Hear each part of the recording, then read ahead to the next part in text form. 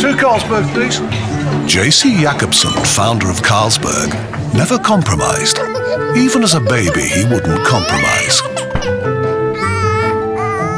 And as he grew up, his standards became higher.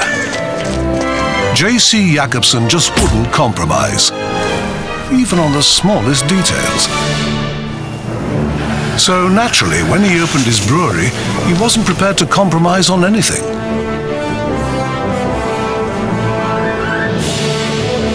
Then one day, something amazing happened. J.C. Jakobsen and his team discovered the Carlsbergensis pure yeast, which changed the world of beer forever. On that day, the day he finally succeeded in creating a perfect beer, he still wasn't happy with the shape of the glass. J.C. Jakobsen never compromised, and thanks to that, you can enjoy uncompromising quality every time you drink a Carlsberg. Carlsberg, uncompromising quality.